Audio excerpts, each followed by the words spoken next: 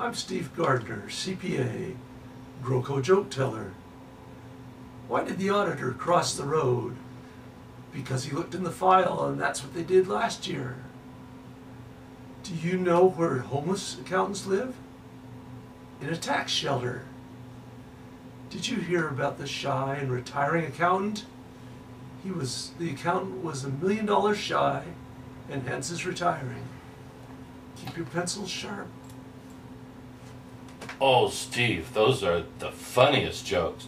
Right now, it's taking everything I have to keep from convulsively breaking up in laughter. Inside of me, I almost feel like I'm ready to choke.